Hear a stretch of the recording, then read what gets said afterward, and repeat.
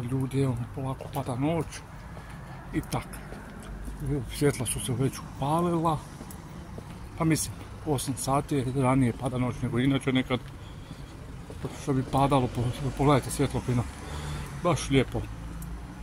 Eto što da vam pričam ljudi moji, ja volim kad je noć, premda je i po noći onak sparno sve to, ali opet ljudi moji, po meni bolje je ne znam kako vama, a meni ja više volim kad, nije, kad je noć, kad nema, kad nije dan, onda nema sunca, onda je, kak se kaže, manje kao vruće, ne znam koliko tu ima zaista istine, ali eto, to je neko moje, ljudi, moji mišljenje. Ne moramo se slagati uvijek sa istim, ali tako je, to je bar tako.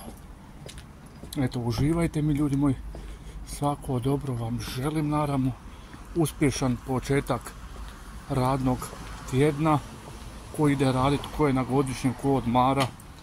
Sretno mu bilo još u odmaranju, mislim da nekome je dobro sad ići na godišnje od sutra, pa tjedan dana, eventualno dva, pa možda do 10. rujna, 15. prođu te velike vrućine, pa eto, šta da vam kažem, ljudi moji dragi, treba uživati malo u danu, u svemu životu, ne samo gledat okretat se za prošlosti. To ja više ne radim, ni ću raditi ikada. Što je bilo prošlosti, to će tamo ostati. Gledat budućnost i tako. Uživajte mi, ljudi moji. Šta bi vam moglo još reći, ljudi moji. Eto, nedjelja je večer, pogledajte kako je zelenilo.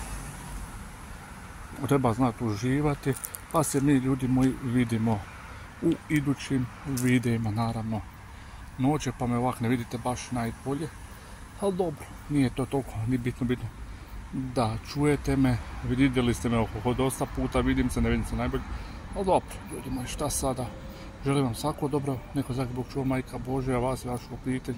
Puno zdravlja vama, vaše obitelji želim baš prijatelj mira hvala vam na 930 subova, stvarno vam od srca hvala. Pa se vidimo. Pozdrav ljudi